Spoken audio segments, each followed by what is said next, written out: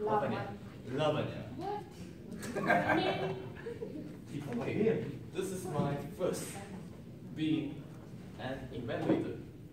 Toastmaster Dr. Derek. Congratulations. In the first sentence, I will get to the point.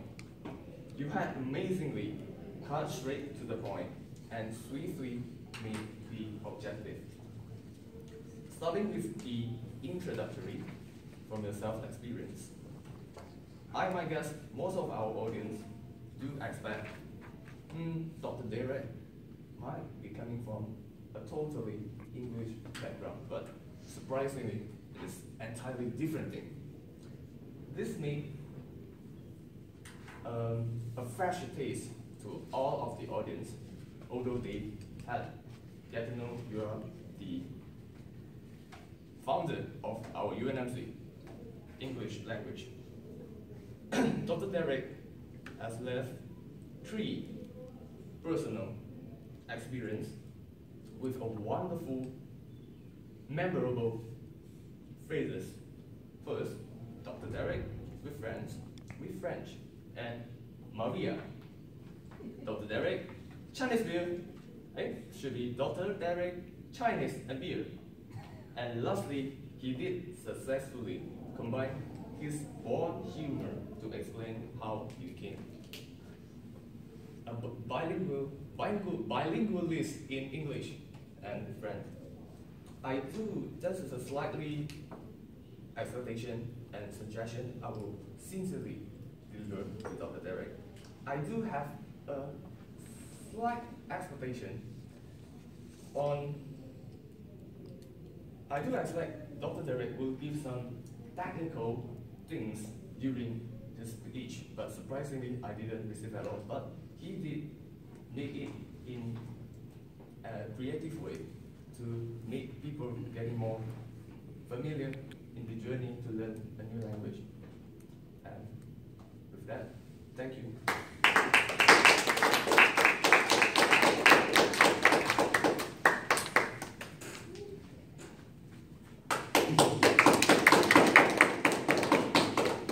Thank you, Minja. It's not always easy to evaluate a lecturer. Good attempt. But you were just criticizing all lecturers prior to this. Yes. I wasn't. I wasn't All anything. of us, it was heartbreaking. Apologies, Derek. I've been in your lectures. I wasn't criticizing you, I assure and now for our next evaluator to evaluate James, Dinesh.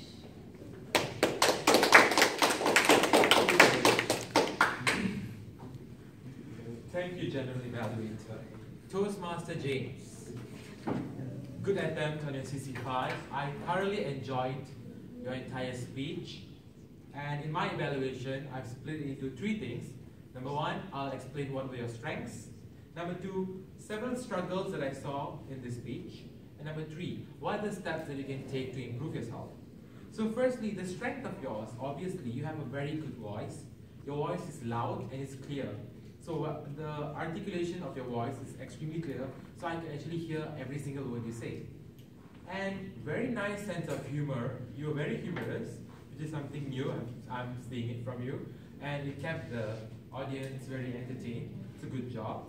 And you gave very good examples, and you brought your whole engineering fact inside as well towards the ending, which I thought was very interesting. Now, some uh, minus points of this um, of this um, presentation or of this speech, I'll say is eye contact. You have to make sure you look at all sides of the room. And looking at this is CC5, this is where we really see your ability to have the eye contact. So that is where I felt that you could have improved better. And transitions, I felt that the organization of your speech was very complex.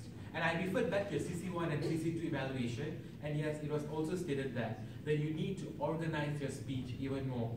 I feel that it lacked preparation. I understand you're very busy with your assignments and work, so it lacked preparation, and that is why the organization of your speech was extremely uh, very complex for us to understand. So it was hard for the audience to keep up with what you're trying to convey.